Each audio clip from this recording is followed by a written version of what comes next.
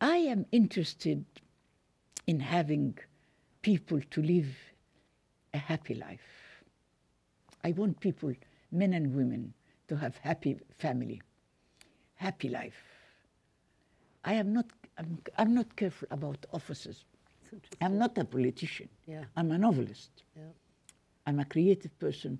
So uh, I, I feel that, yes, you cannot be happy unless you have a state that is based on a constitution and law that make everybody equal.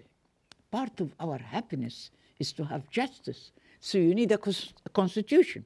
You need politics.